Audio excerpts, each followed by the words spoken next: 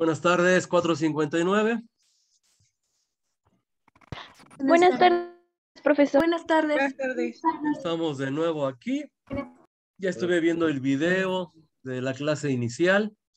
Vamos a empezar a ver sistemas de referencia. Voy a aprovechar los videos que ya tengo. Espero que algunos le hayan echado alguna ojeadita, si no, hoy lo vamos a ver. Ando bastante ronco y creo que me quiere dar algo de calentura, así que voy a recurrir a mi material. Aquí voy a estar presente y voy a estar parando el video continuamente para que yo les pregunte algunas cosas. O sea, no es pretexto, yo voy a estar ahí, pero sí quisiera este, ahorrarme un poco hablar, ¿no? Ahorita tuve dos grupos y ya llevo hablando tres horas y ya me cansé un poco también. Entonces, bueno, no es pretexto, yo espero que esto no, no sea seguido, ¿no? Dolor de garganta desde el sábado, o sea, no es el bicho, pero hijos, cómo me está molestando. Bueno, veamos. Mm, vamos a compartir pantalla. A ver, sigo aceptando. Ya tengo a 45 de ustedes. Muy bien. ¿Alguna duda, pregunta sobre la inscripción, sobre Zoom? No hay ningún inconveniente. ¿Quedó todo clarísimo en la clase anterior? ¿Eh? Díganme, por favor. ¿No? Sí. ¿No hay dudas? Bueno, fui muy claro. Sí, entonces. profe. ¿Qué pasó? Dime. Este, nada más quería preguntarle si para la libreta se puede usar una libreta reciclada. Sí, sí, por favor. Ah, bueno, claro que sí, claro que sí. De hecho, qué bueno que estás aprovechando material. Sí, porque se tiran muchos cuadernos casi nuevos luego, pero bueno. Hay gente ricarda que compra a cada rato material, ¿no? Bueno, veamos. Sigo aceptando. Ahora sí, tengo 47. Vámonos a compartir pantalla. Debo compartir el audio. Ya estuve viendo el video que me va a apoyar porque les digo que ya sabe que la garganta me iba a traicionar. Entonces vamos a ver desde los más antiguos. A ver, videos. Aquí estoy en mi canal. Aquí son los más recientes. Tenemos que irnos a los más antiguos. Aquí. Entonces, el video que voy a ponerle se llama... Ah, es este, el primero. Ok, este video yo lo hice para, para introducir el tema de sistemas de referencia. Si alguno ya lo vio, bueno, qué bueno, ¿no? Pero ahí les va, dura 35 minutos, a lo mejor no nos alcanza el tiempo si paro seguido el video, pero les encargaría que vean la parte final.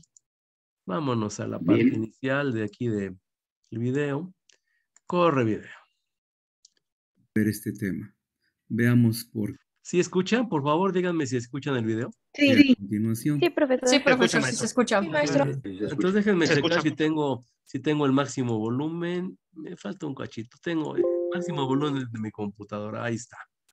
Ahora sí. Corre video.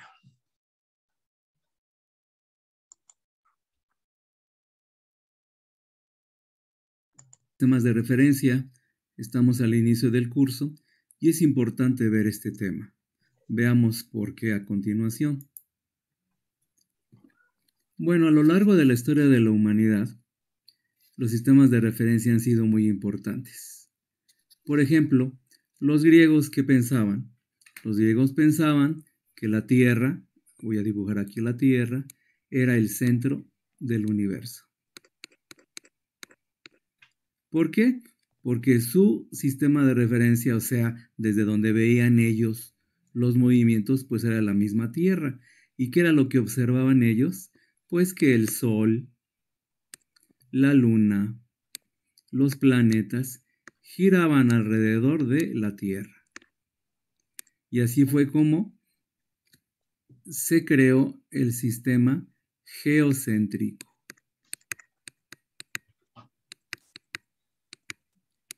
Geo, tierra, centro, digo, céntrico, centro, con centro en la Tierra.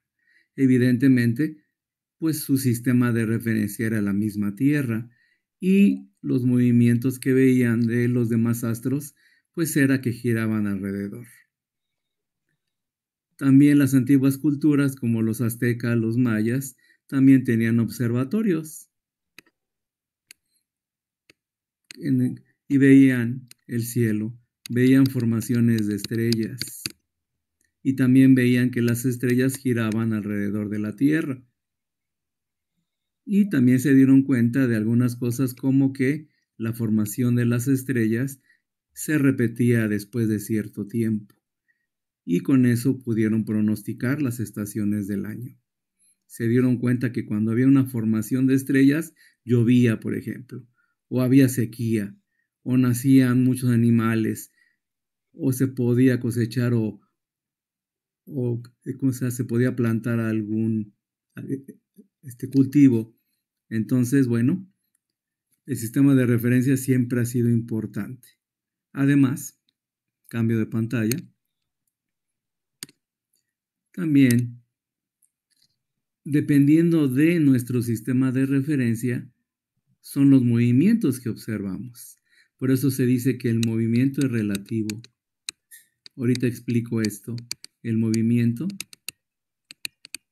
es relativo. Depende de dónde estemos viendo el movimiento. A ver, un ejemplo muy sencillo. Supongamos que estamos en una micro. Disculpen la micro, pero bueno. Si estamos aquí nosotros agarrados del barandal y la micro se está moviendo, si yo estoy dentro de la micro y veo a la gente o a las cosas que están dentro, yo no veo que se muevan. Pero si una persona está fuera de la micro, pues evidentemente observa que todo se mueve. Por lo tanto, el movimiento depende desde dónde estemos viendo ese movimiento también. Otro ejemplo, si soltamos una pelota dentro de la micro, pues dentro de la micro vamos a ver que la caída es en línea recta y hacia abajo. Pero la persona que está afuera, ¿qué es lo que ve? Ve que la pelota se aleja y además cae. Entonces lo que ve es una trayectoria curva. Entonces, depende también el movimiento desde donde lo estemos viendo. Por eso se dice que es relativo. ¿Relativo a quién? pues al sistema de referencias desde donde estamos viendo nosotros el movimiento. Por eso, el tema de sistemas de referencia es importante, porque ha tenido mucha influencia y la sigue teniendo en la actualidad. Ahora bien, cuando empezó la astronomía, cuando empezaron a, ver las estrellas, pues se dieron cuenta de que había movimientos raros. Por ejemplo, la Tierra y Marte. Aquí voy a poner a la Tierra y aquí voy a poner a Marte. Entonces observaban los movimientos, pero dense cuenta de una cosa. Debido a las órbitas de ambos planetas, Marte en específico, de repente estaba por detrás supongamos que van para acá los dos planetas en este sentido, de repente está por detrás, pero llega un momento en que está por delante y luego otra vez está por detrás. Entonces, ¿qué era lo que observaban los astrónomos? Veían cosas raras, veían que el movimiento de Marte hacía como rizos y eso no lo podía explicar un sistema geocéntrico porque evidentemente nosotros estamos viendo a Marte desde la Tierra y el movimiento de Marte no es alrededor de la Tierra, es alrededor del Sol. Y entonces, pues se veían cosas raras. Entonces, los sistemas de referencia nos ayudan a ver los movimientos y se ven cosas diferentes según el sistema de referencia que escojamos. A continuación les voy a pasar un video corto en donde también explican un poco más de los sistemas de referencia. Veamos.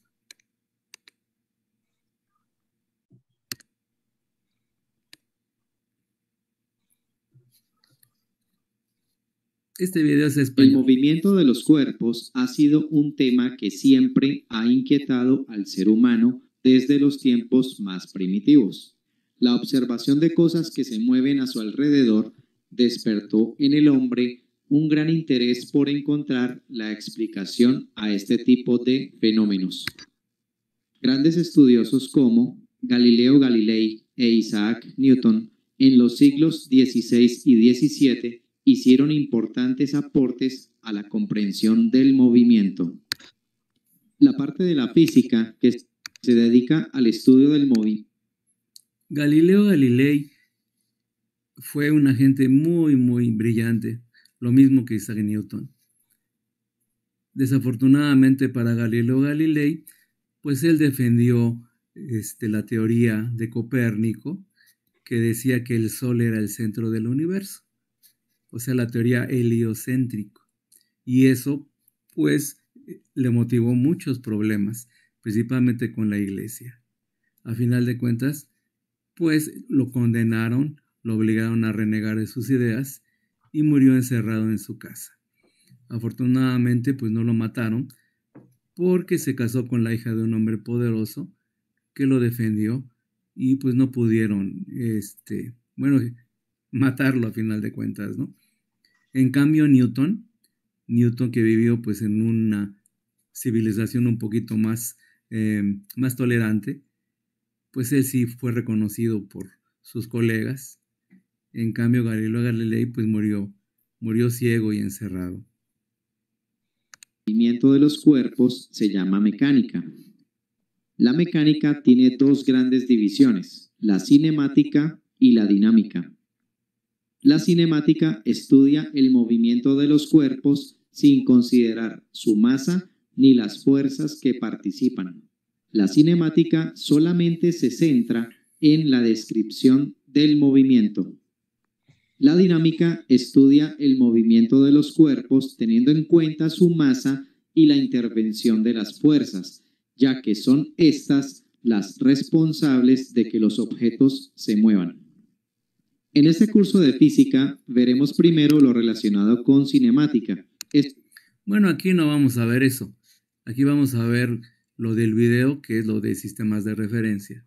estudiando diversos movimientos tales como el rectilíneo, el circular y el parabólico. Después nos ocuparemos del estudio de las fuerzas y su relación con la dinámica. Sistemas de referencia. Cuando afirmamos que Y bueno, ese es nuestro tema. Entonces vamos a ver que también este, nos dicen sobre el movimiento, que es importante el tema. un cuerpo se encuentra en movimiento o en reposo, debemos tener presente que estos son estados relativos y no absolutos. Es decir, un cuerpo está en movimiento o en reposo en relación con un sistema o marco de referencia. Por ejemplo, el piloto de un coche de Fórmula 1 está en movimiento en relación con la pista, pero se encuentra en reposo en relación con el coche. Sí, lo que dijimos, ¿no? De la micro, ¿no? Nada más que aquí pues es un carro de Fórmula 1. Las cosas que están en el carro de Fórmula 1 están en reposo con respecto al piloto. Pero si lo vemos por fuera de, del carro de Fórmula 1, pues se están moviendo. En esta situación, la pista y el coche son los sistemas o marcos de referencia que nos permiten establecer la condición de movimiento o reposo del piloto, respectivamente. El sistema o marco de referencia se elige según el tipo de movimiento que se va a estudiar, es decir, depende de si éste ocurre en una, en dos o en tres dimensiones. Veamos lo Hay diferentes marcos de referencia. Si es en una dimensión, pues es una línea recta. Si es en dos dimensiones, es en un plano. Y lo que manejamos comúnmente es el plano cartesiano. Y en tres dimensiones, bueno, ya sería con tres ejes. los sistemas o marcos de referencia más utilizados en física. Para un movimiento unidimensional, es decir, en una dimensión, el sistema o marco de referencia más utilizado es el eje X. Para un movimiento bidimensional, Una recta es decir, en dos X. dimensiones, el sistema o marco de referencia más utilizado es el plano cartesiano formado por los ejes X, E, Y. Para un movimiento tridimensional, el sistema o marco de referencia es el espacio generado por los tres ejes X, Y y Z. En todos los marcos de referencia se suele denotar el cero. Allí lo tenemos para el caso del eje X, para el caso del plano cartesiano y para el caso del espacio. En un sistema o marco de referencia se debe especificar cuál será la dirección positiva y cuál será la dirección negativa. El convenio de signos más utilizado es el siguiente. Para el caso del eje X se considera positivo lo que va hacia la derecha y negativo lo que va hacia la izquierda. Para el caso Son importantes los signos, ya lo veremos en el curso, para saber hacia dónde es positivo y dónde es negativo. Básicamente vamos a manejar el plano cartesiano, el bidimensional. del plano cartesiano formado por los ejes X e Y, positivo es lo que va hacia la derecha y hacia arriba, negativo lo que va hacia la izquierda y hacia abajo. Y para el caso del espacio tridimensional, el espacio generado por los ejes X, Y y Z, las direcciones positivas son las que podemos apreciar en el dibujo. Obviamente, las direcciones negativas serán las contrarias a los ejes que aparecen en este caso en la gráfica. Definir el sistema o marco de referencia es muy importante para describir correctamente el movimiento de un cuerpo. Datos como la posición, la velocidad y la aceleración del móvil en instantes de tiempo específicos están determinados por el sistema o marco de referencia elegido. Entonces chequen, ¿por qué son importantes los marcos de referencia? Porque pues así podemos definir dónde está, o sea, la posición, cuál es la velocidad con respecto a algo tiene que ser, ¿no? Y la aceleración, que es el cambio de velocidad. Ya veremos ahorita lo que son los sistemas de referencia inerciales y no inerciales, que tienen que ver con velocidad y aceleración. Cabe señalar que, en el desarrollo de muchos problemas de física, generalmente se toma la Tierra como sistema o marco de referencia, sin necesidad Recuerden lo que hacían los griegos, ¿no? O las antiguas culturas. Evidentemente su marco de referencia era la Tierra, porque no tenían la facilidad de salir de ella de dibujar ejes X, Y o Z. Es como si se trabajaran esos problemas de manera libre, sin usar formalmente un sistema o marco de referencia. En realidad, es lícito proceder de esa manera desde que no haya riesgo de confusión por parte de quien resuelve el problema. Lo que sí debemos tener presente es que hay situaciones que se describen con mayor claridad utilizando un sistema o marco de referencia. Podemos citar dos ejemplos de la cinemática. En el movimiento vertical, es decir, lo que es caída libre y lanzamiento de cuerpos hacia arriba o hacia abajo, utilizar la parte positiva del eje Y como sistema de referencia facilita el análisis de los problemas. En el movimiento de proyectiles, es decir, lo que se conoce que siempre A ver, veamos, creo que ya aquí la regué un poquito. Mm, vamos a ver dónde íbamos. Una disculpa. Por aquí íbamos. Ok. de que no haya riesgo de confusión por parte de quien resuelve el problema.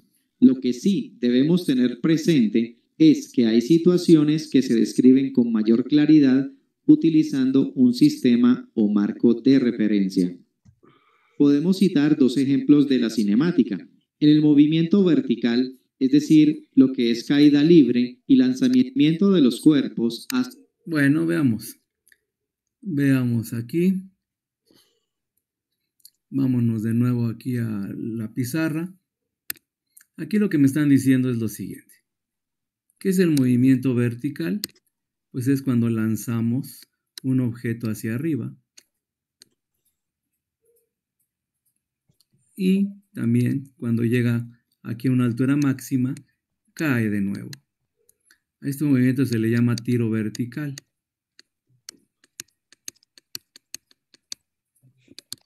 O cuando dejo caer el objeto y lo dejo si a la gravedad se conoce como caída libre.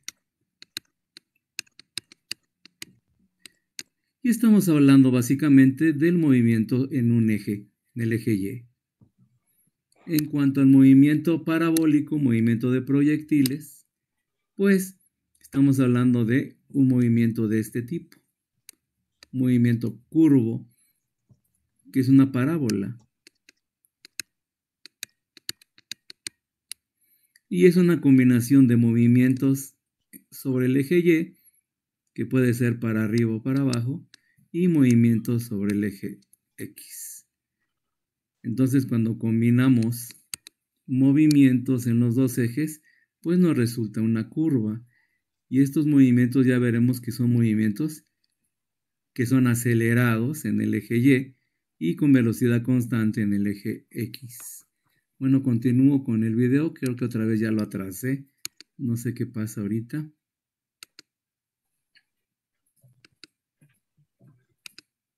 A ver. Aquí.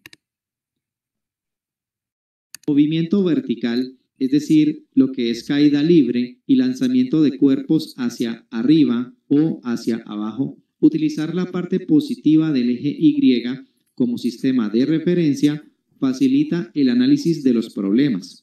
En el movimiento de proyectiles, es decir, lo que se conoce como tiro parabólico y semiparabólico, usar el primer cuadrante del plano cartesiano XY como sistema de referencia resulta muy conveniente para enmarcar el movimiento. Aquí lo que nos están diciendo es lo siguiente. Aquí voy a tener mi plano cartesiano. Disculpen, aquí está todo chueco. Aquí está el eje X y aquí está el eje Y. Y a este cuadrante se le conoce como el primer cuadrante. Hay otros este, tres cuadrantes este cuadrante que es el segundo, el tercero y el cuarto. Pero el movimiento parabólico, que es tiro parabólico,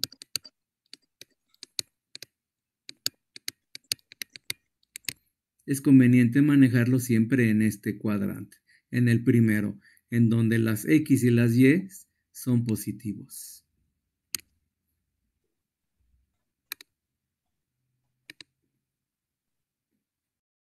Otra vez, no puede ser. Un sistema o marco de referencia. En realidad, es lícito proceder de Y como sistema de referencia facilita el análisis de los problemas. En el movimiento de proyectiles, es decir, lo que se conoce como tiro parabólico y semiparabólico, usar el primer cuadrante del plano cartesiano XY como sistema de referencia resulta muy conveniente para enmarcar el movimiento y analizarlo de manera muy sencilla.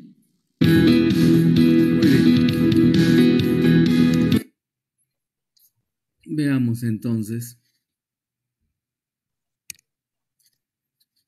El marco de referencia o sistema de referencia es importante para describir los movimientos.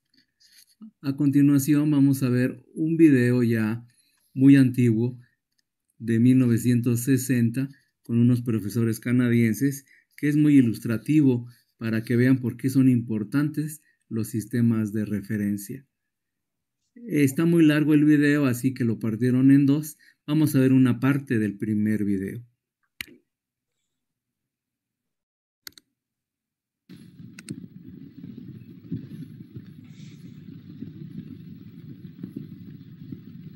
Aquí esta parte es de un péndulo que al final del video van a explicar de qué se trata.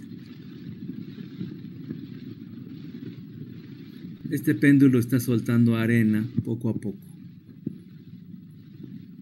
Y al final del video lo van a mostrar para ver qué hizo. Pero ahorita vamos al tema. Estamos acostumbrados a ver las cosas desde un punto de vista particular. Esto es desde un sistema de referencia particular. Y las cosas nos parecen diferentes bajo diferentes circunstancias. Ahora, las cosas parecen...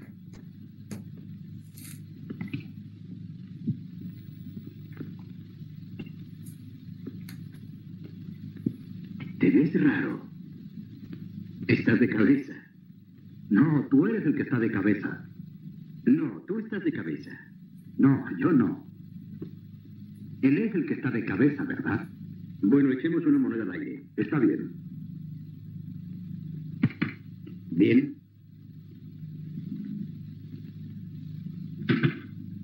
Tú pierdes. Él es el que está realmente de cabeza. Mejor ven a mi sistema de referencia. Ah, Bueno.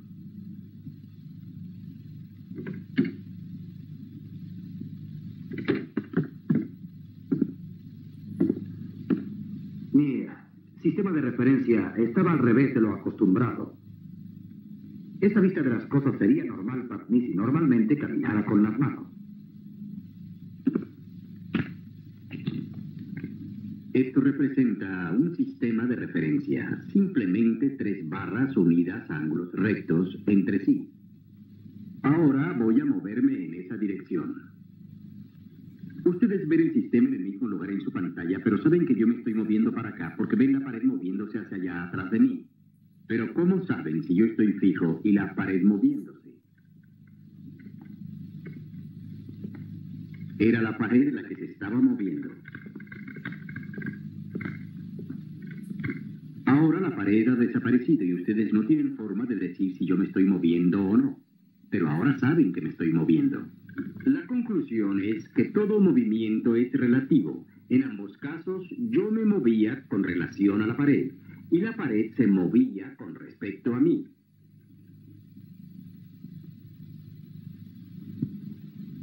Todo movimiento es relativo, pero nosotros tendemos a pensar en una cosa como fija y otra moviéndose.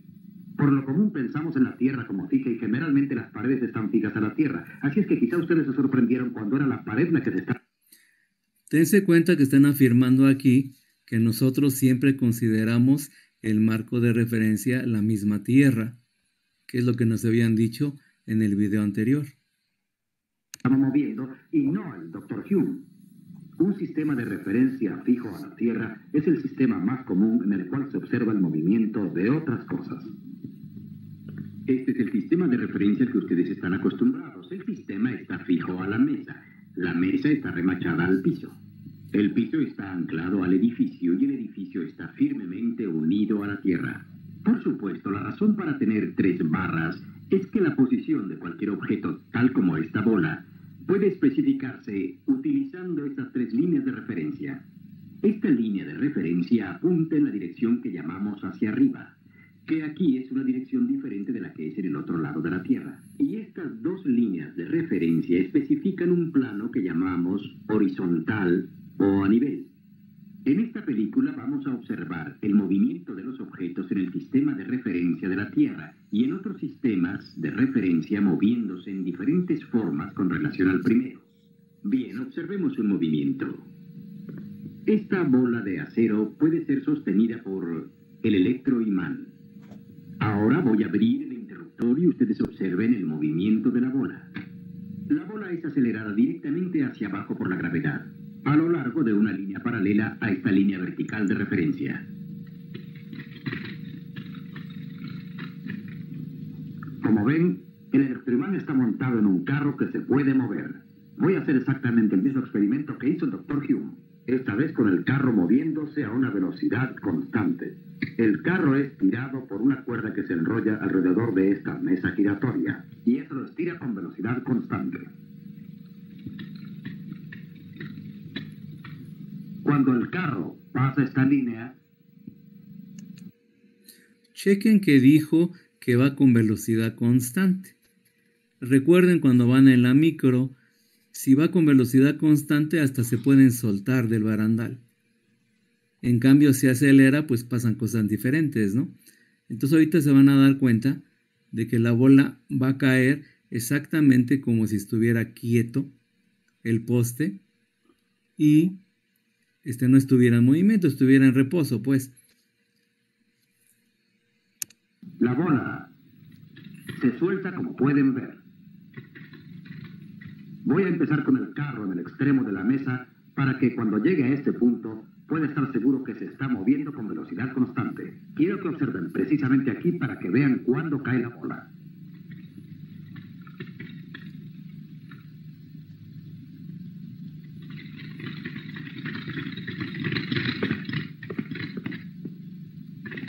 Chequen que cayó exactamente abajo. Creo que pueden ver que la bola cayó exactamente en el mismo lugar que antes, cuando el doctor Hume realizó el experimento con el carro fijo. Pero esta vez la bola no pudo haber caído directamente hacia abajo. Permítame demostrárselo.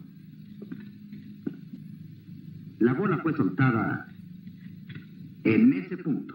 Si hubiera caído directamente hacia abajo, debido a que el carro se mueve en el tiempo que le lleva a caer, hubiera caído aquí atrás en alguna parte. Pero no fue así. Ahora voy a hacer de nuevo el experimento. Y esta vez voy a dejar que observen el movimiento a través de esta cámara lenta que está fija aquí. Observen bien. El carro se mueve, la bola cae y ustedes pueden observarla a través de la cámara lenta.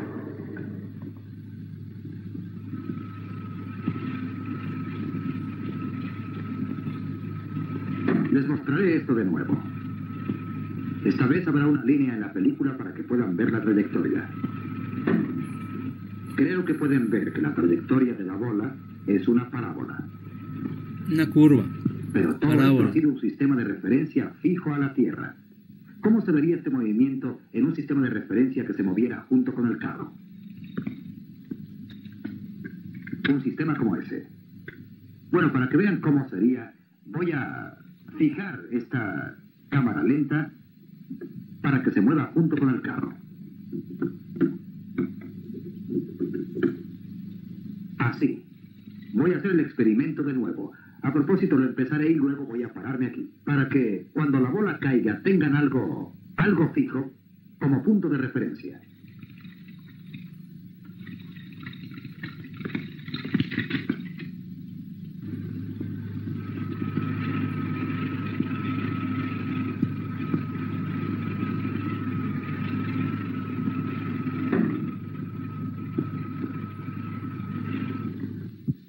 Yo creo que ustedes podrán ver que en este sistema de referencia en movimiento la trayectoria es una línea recta vertical.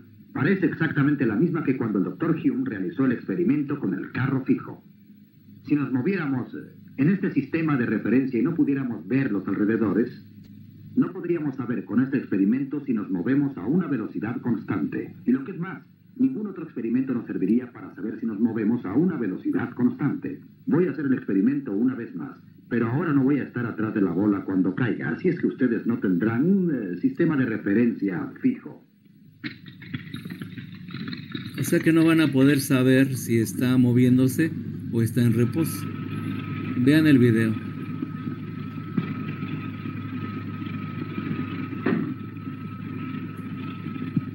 Por lo que a ustedes concierne, esa vez eh, el carro no estaba necesariamente moviéndose. Creo que cuando no podían ver el fondo, quizá era más difícil para ustedes darse cuenta que estaban en un sistema de referencia en movimiento.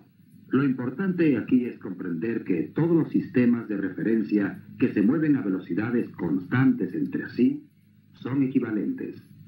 El doctor Ivy les mostró cómo era el movimiento de la bola cuando se soltaba del carro en movimiento en los sistemas de referencia de la Tierra y el carro. El movimiento parecía más simple desde el carro. Ahora quiero que observe el movimiento de este punto blanco. Ustedes probablemente ven que el punto se mueve en un círculo.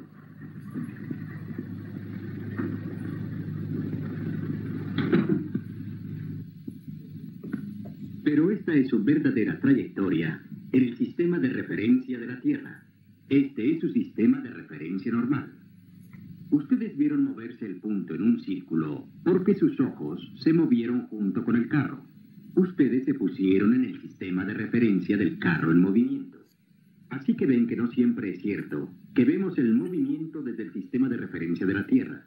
Cuando el movimiento es más simple desde el sistema en movimiento, ustedes automáticamente se colocan en ese sistema.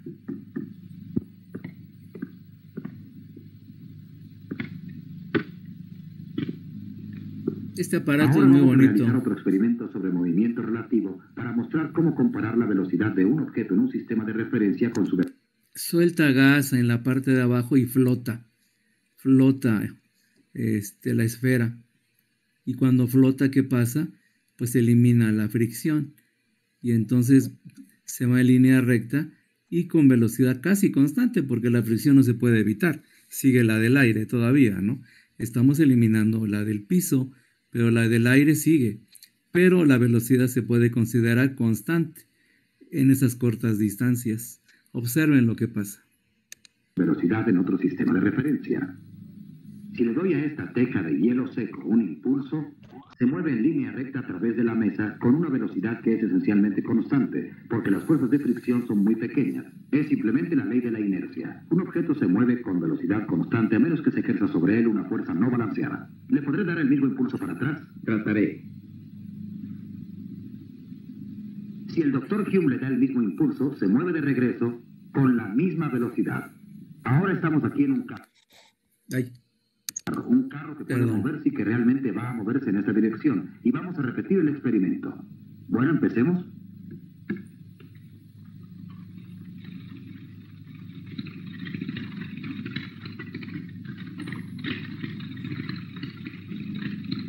Si estuviéramos haciendo mediciones, observaríamos eh, las mismas velocidades, esto es, los mismos resultados experimentales que hicimos antes. Y ustedes lo mismo porque estaban observando el experimento a través de una cámara que está asegurada en este carro. Esto es, estaban en el sistema de referencia en movimiento con nosotros. Pero ahora vamos a hacer el experimento de nuevo. Y en esta ocasión observarán a través de una cámara que está fija en el sistema de referencia de la Tierra.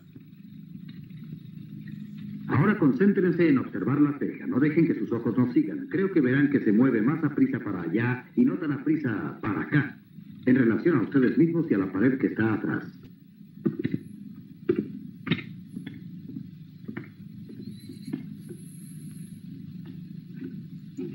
Muy bien, jóvenes del 2021. Ya quedan dos minutos nada más de video. Les encargo entonces que terminen de verlo. La primera tarea va a ser, háganme un resumen de este video, por favor. Y si pueden ver el segundo video, también está muy bonito. Es la continuación. Ajá. Ya se va a acabar el tiempo. Espero que no me sorprenda aquí el tiempo. Um,